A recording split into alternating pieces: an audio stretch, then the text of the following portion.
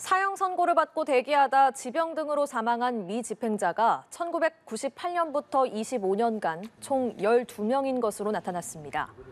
법무부의 집계에 따르면 2006년과 2011년, 2019년, 2020년에 한 명씩, 2007년과 2015년엔 각각 2명, 2009년엔 4명이 사망했습니다.